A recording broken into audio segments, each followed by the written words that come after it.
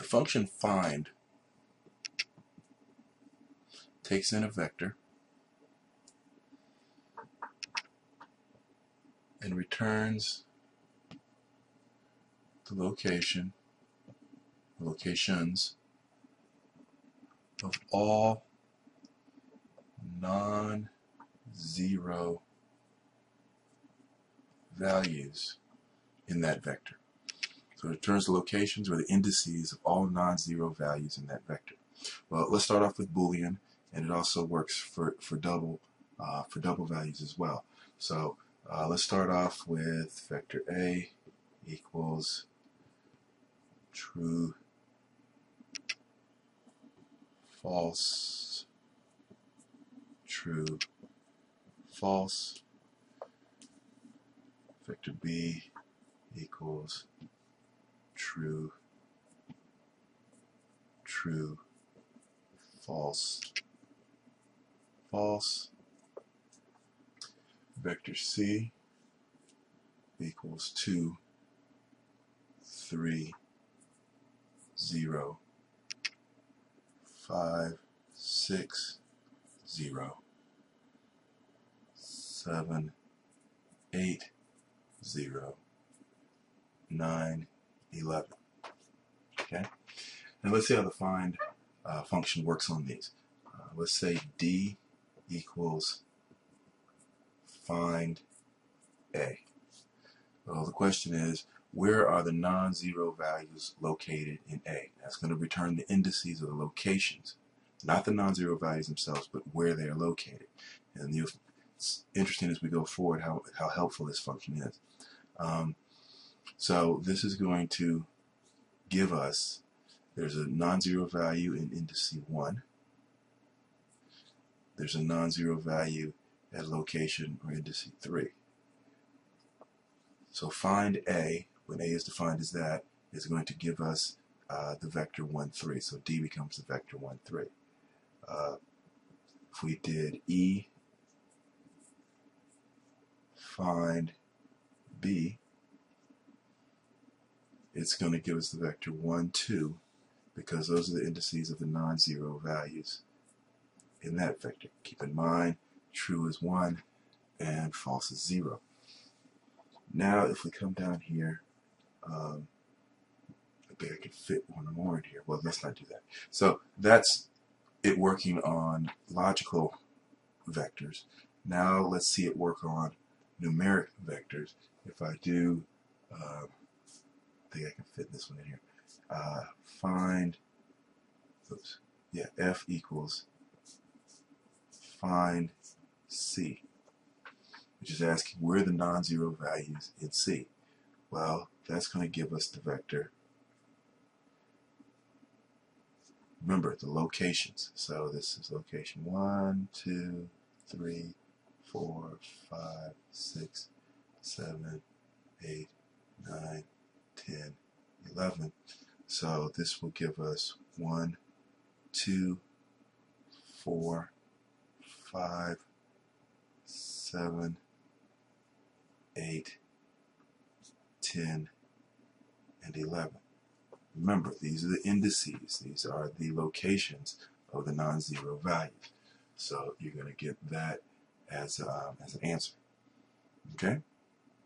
All right. So let's see how that can be um, even more helpful if we use it uh, for Boolean expressions. So erase that, leave the vectors up there. And now I'm going to go vector G equals, and I'm going to do it, the first time I do it, I'm going to do it in two stages and then show you how you can do this all at once. Uh, vector G equals C greater than 6. Now, C greater than 6 is going to become the vector. So you're asking, where is C greater than 6? Remember, this is a vector uh, with a logical expression uh, with the scalar here. And so it will apply this scalar, uh, this operation, c greater than 6, to each element in the vector. And so you're going to get the result of 0 or false. Uh, in fact, let's do, let's do it this way. you're to get false. When you're doing in MATLAB, these are going to be zeros. But uh, to clear up some ambiguity, I'm to put in um, the words here. You're to get false, false, because 2 is not greater than 6. 3 is not greater than 6. 0 is not greater than 6. 5 is not greater than 6. 6 is not greater than 6. Let me put these indices here so they don't get lost. 2, 3, 4, 5. Uh, here, 0 is not greater than 6, so that's false as well. Here, 7 is greater than 6, so in slot 7, we get true. 8 is greater than 6, so in slot 8, we get true.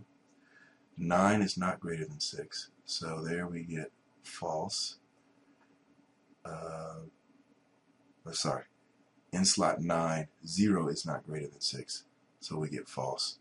Uh, in slot 10, 9 is greater than 6, so you get true. And in slot 11, 11 is greater than 6, so you get true. Alright, so then you come back, and so you get this vector. If you do g equals c is greater than 6, you get this vector. It also, uh, if you do it in MATLAB, it looks like this. 0, 0, 0, 0, 0, 0, 1, 1, 0, 1, 1. So now if I did a find vector h equals find g, then that's going to give me where in g are there values that are not equal to 0? Well, in slot 7, slot 8, slot 10, and slot 11. Okay? And that's definitely one way you could do it. Um, you could also just combine and do this in one step. And I think I have enough room to fit it down here. Uh, I'll do vector i. I can do it in one step and just say vector i equals find c greater than 6. And if I do vector f, vector i equals find c greater than 6, then I just do it all in one step. C greater than 6 is going to give me this vector here. Um, in MATLAB, it's going to actually be the one with zeros in it. And then find C greater than 6 is going to wind up giving me 7, 8, 10, 11. So I can do it all in one step, right? All right, so that's the power. This idea right here, even more so than just finding the, the uh, the non-zero values in any particular vector. This gets to be very powerful because I, I can locate in a vector um, elements that meet a certain condition.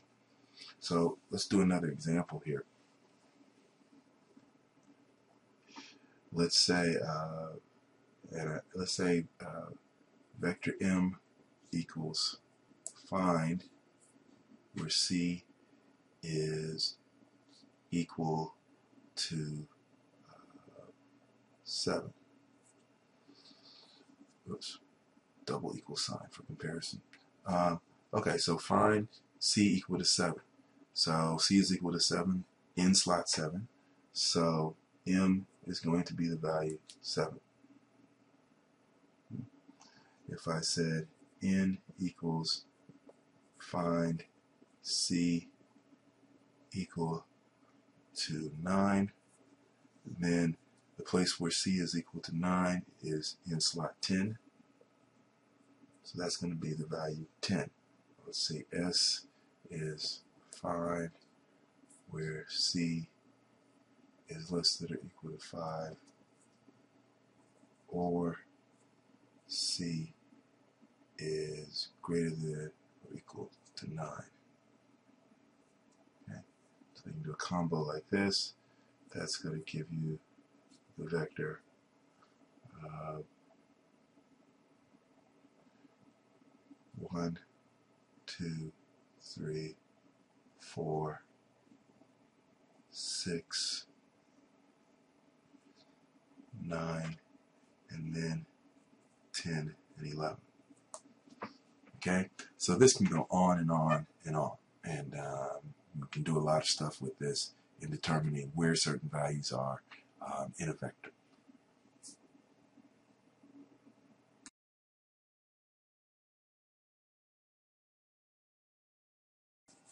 This is the MATLAB illustration or demonstration of find, uh, the find function.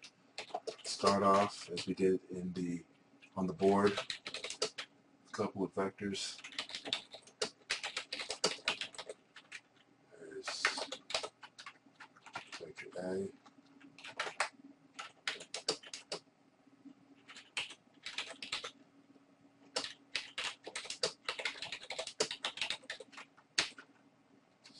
Vector B. Also, let's do vector C.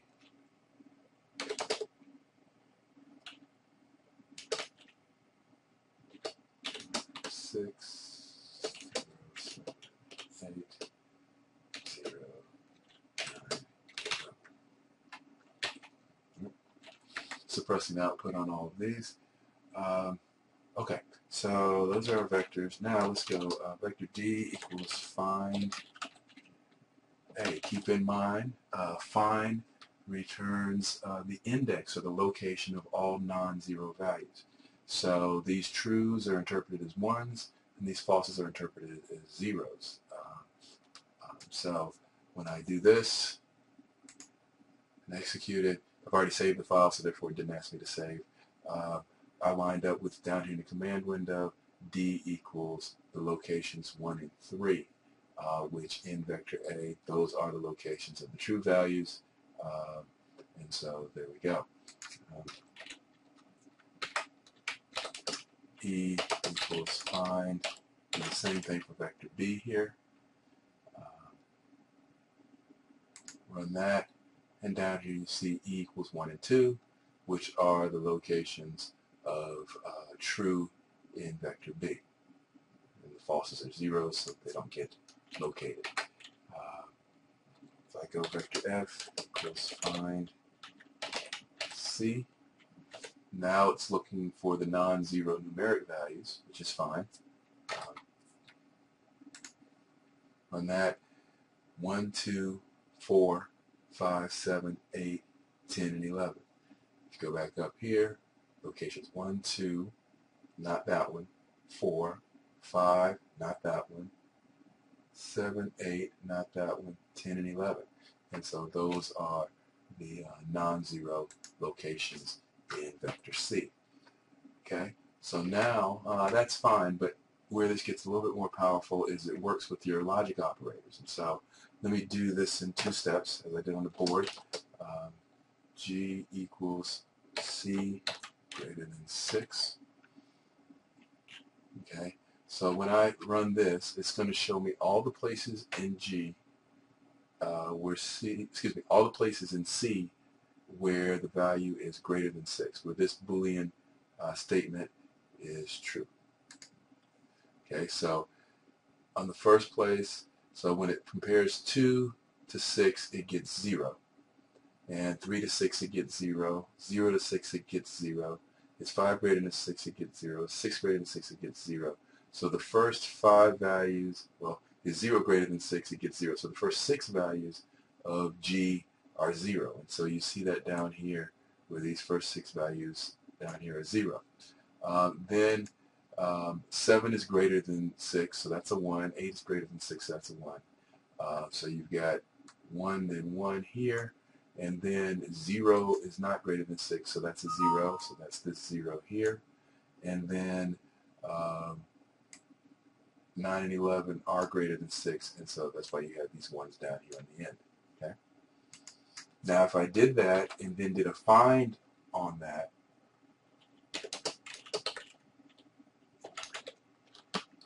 find the places in G where uh, where there where the value is not equal to zero, then it's going to come back and tell me the indices. And so if you look here, now uh, it tells me that at location 7, 8, 10, and 11 you have no zeros, right? So that's a two-stage process to tell me the locations in C uh, that are greater than 6. I can do it in one step by simply doing vector i equals find where c is greater than 6. Right? And when I do that, in one step, oops, in one step, I now have found the places in C that are greater than 6. And that proves to be uh, very helpful um, as we go forward. Okay. Uh, so let's look at this concept a little bit more of these logic operators and finding places where the logic operators are, uh, logical operations are true. Um, let's do vector m equals find all the places in vector c that are equal to 7. Well, there's only one place in vector c where um, the value is equal to 7, and that's uh, happens to be in location 7. So when I click that, uh, I get a 7 for m. n equals find places in vector c. The value is equal to 9. That happens to be here, which is indexed in the tens location, so I'm anticipating the 10, and so n equals 10. Uh, vector O equals find the places in C um, that are less than or equal to 5. Okay, um, and so that's two. That's locations one, two, three, four. Not this one, but this one. So that's six. Not these two, and this one here nine. And so those locations are the ones that are less than equal to five. So let's run this. One, two, three, four, six, and nine are the locations where uh, in vector C that are less than or equal to 5. And then I'll do one more. This one is a bit contrived, but gets the point across. Find places in C, uh, excuse me, find places in C. C is less than or equal to 5, or C is greater than or equal to 9. Okay? Um, and so that's going to give me all the things that were my previous vector and then also slots 10 and 11 because they're greater than or equal to 9. So when I click that, I get 1, 2, 3, 4, 6, 9, and then 10 and 11. And so this can take on many, many forms um, and allow you to do, uh, have a lot of flexibility in finding things in vectors.